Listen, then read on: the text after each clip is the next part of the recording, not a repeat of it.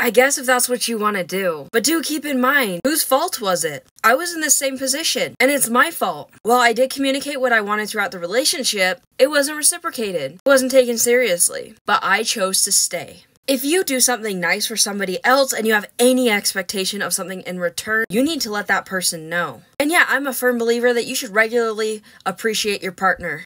And hopefully he did appreciate you. Maybe he wasn't good at communicating it. And that's something that he could work on. I also don't think acting feral is a flex. I think it's absolutely fantastic when you see somebody go through a rough breakup, they work through their issues, and you see them overall just better themselves in a legitimate way. But if you have the mentality that this was all his fault and you take no responsibility for it, you're gonna keep going into relationships with this mindset where you'll become extremely bitter, refuse to do wifely shit for men. And when you meet that man that's right for you and you refuse to even even be nice to him or take care of him, you're setting yourself up for failure in that relationship.